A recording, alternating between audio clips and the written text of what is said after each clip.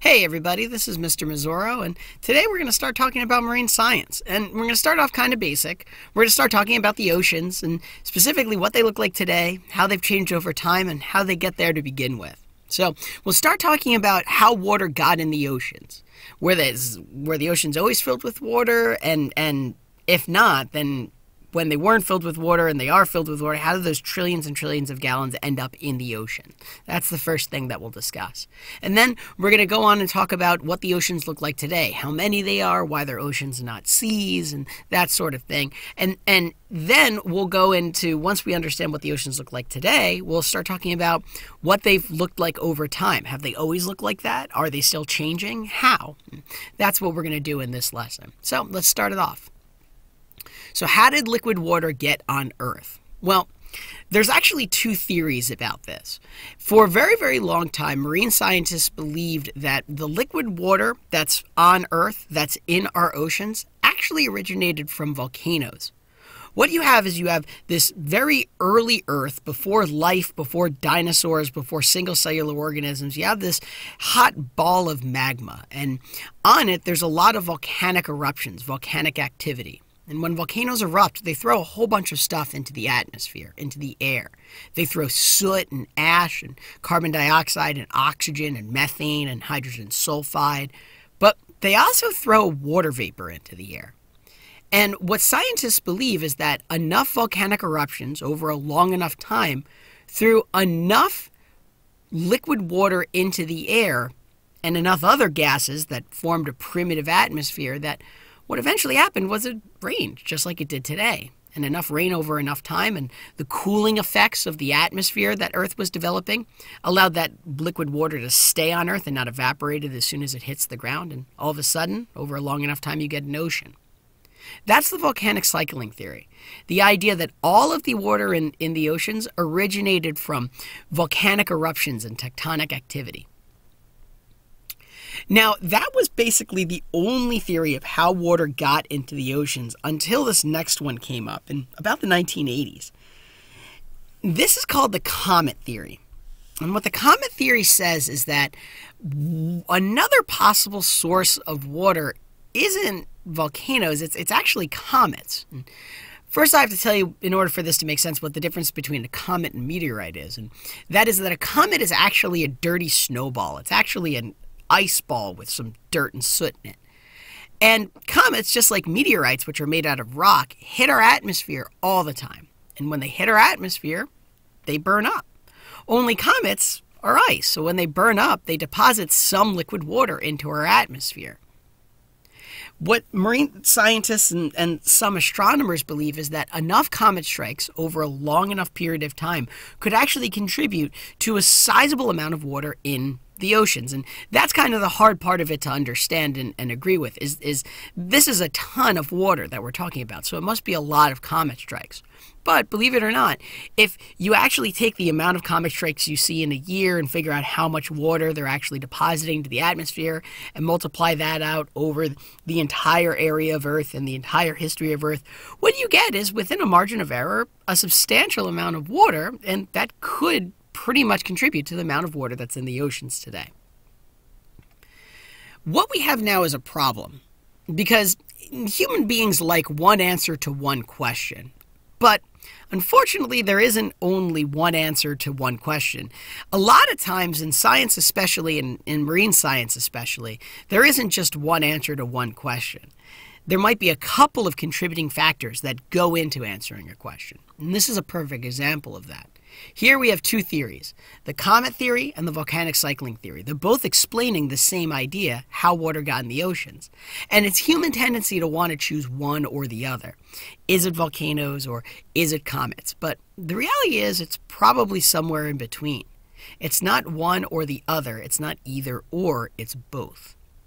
So, in marine science, we're going to come up with a lot of theories and be confronted with a lot of theories. And is going to be a lot of multiple explanations towards one thing that people have observed. And in those cases, what you have to remember is that when I give you multiple explanations, it's not one or the other, it's actually both or some combination of the two or three or four explanations that most conclusively explains what we're trying to explain.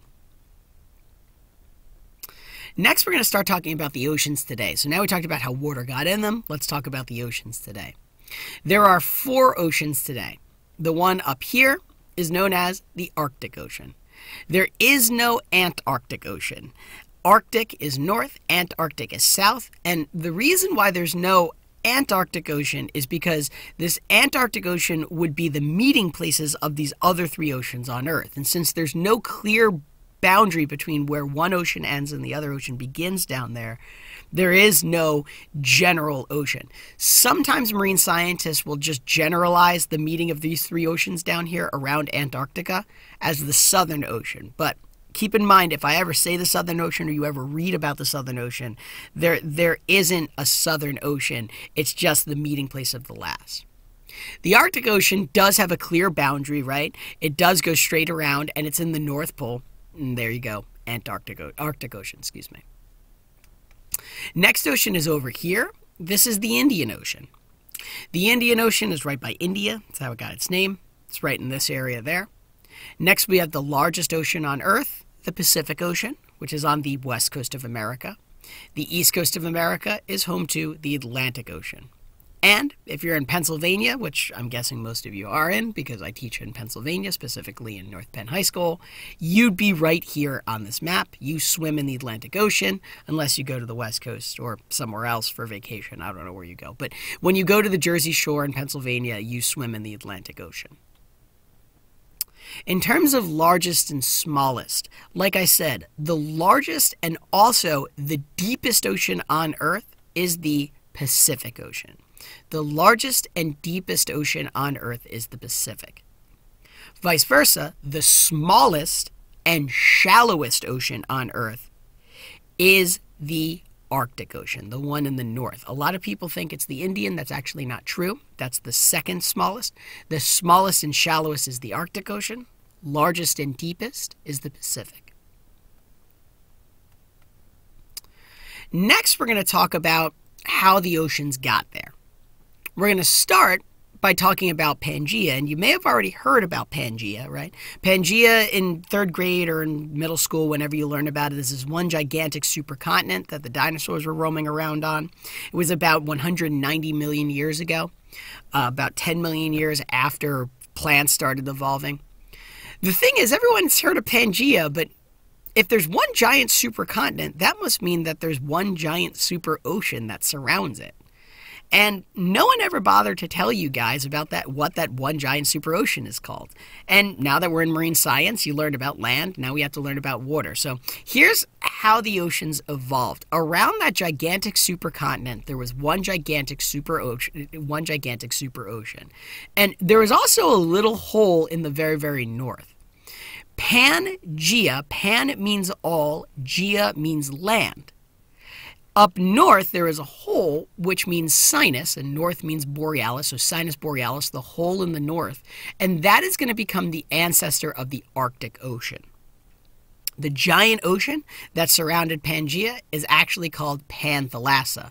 Remember, in Greek, pan means all, so Pangea, all land, Panthalassa, all water. That's going to become the ancestor of the Pacific Ocean. Why is it Sinus borealis and Panthalassa and not the Arctic and Pacific? Because we don't have the Indian and we don't have the Atlantic. And unless you have all four oceans, you can't have any. Because there's, again, there's no clear boundary between the Indian, Atlantic, and Pacific Oceans in the south. Next, Pangea is going to start to break up. We still have Panthalassa, we still have Sinus borealis, but when Panthalassa, when Pangea, Pangea starts breaking up, you start forming a new ocean. Now, why does it start breaking up? It starts breaking up because of this area known as the Mid Atlantic Ridge.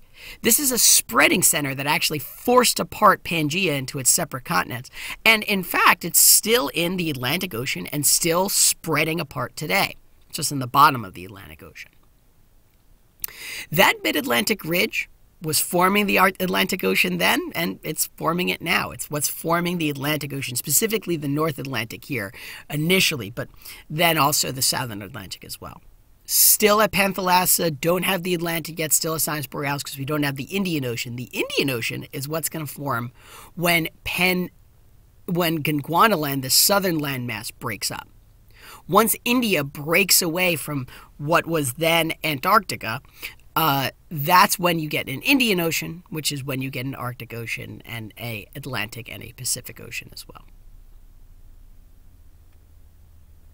Now, that's how those oceans formed, the Arctic Ocean being the oldest, the Indian Ocean being the newest. And important thing to remember there, keep in mind the Arctic Ocean is, is along with uh, uh, Panthalassa, that's the Pacific, but the Arctic Ocean is the smallest and the Pacific is the largest. So oceans don't grow like people. Just because they're big doesn't mean they're old. Arctic is one of the oldest oceans on Earth and it's still the smallest and shallowest.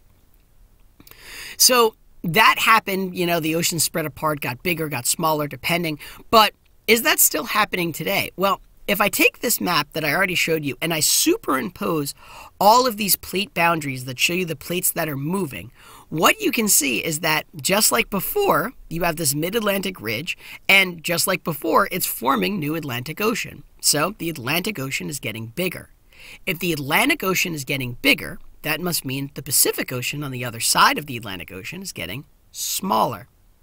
More to the point, we were creating oceans back then and we're still creating them now. In the Indian Ocean, you have a spreading center right here. That's near the Red Sea, and in about 50 million years, the Red Sea is going to become the Red Ocean. It's actually a new ocean forming, just like the Mid Atlantic Ridge formed the Atlantic Ocean 150 million years ago this spreading center is forming what's eventually going to be the red ocean uh, in in a, millions and millions of years. So just because the oceans just because the oceans form doesn't mean they've stopped forming. This entire motion on a whole is happening about the rate at which your uh, at which your fingernails grow or which your hair grows. So next time you clip your fingernails, just think that's how much closer you are to well, Japan actually. And in about 200 million years or 300 million years, there is going to be no more Pacific Ocean. The west coast of America is going to slam right into the east coast of Asia. And at that point, California will, in fact, have the best in sushi in America, but that's, you know, 150, 200 million years from now. So that's it for the first lesson. We started talking about how water got in the ocean, the comet theory, the volcanic cycling theory, and specifically the idea that you shouldn't choose between them. Just because they're two theories trying to explain the same thing doesn't mean they're both not without merit and they can't both be right. Then we talked about the four oceans today the Arctic, the Atlantic, the Pacific, and the Indian. How the Arctic is the smallest and shallowest, and the Pacific is the largest and deepest. And how they all formed Sinus borealis and Panthalassa, the start of the Arctic and Pacific Oceans, respectively. And then as Pangaea broke up, you get the formations of then the Atlantic and then lastly the Indian Oceans. So that's it for today. Today, uh, tomorrow, and for the next lesson, what we're going to be talking about is uh, once we understand how these plates are moving and where the ocean floor is being created, we have to talk about where that old seafloor is going. I mean, the Earth isn't getting any larger. So if, if, if, the oceans, some of them are getting bigger, some of them are getting smaller, where is the old seafloor going? Where is the new seafloor being created? And how can you tell just by looking at a map what's happening? So that's the next lesson. But that's it for today, and thanks for listening.